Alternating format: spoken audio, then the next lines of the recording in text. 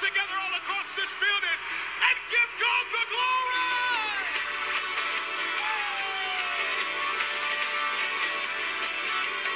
Come on, it's time tonight for somebody to get your breakthrough in this house. Yeah.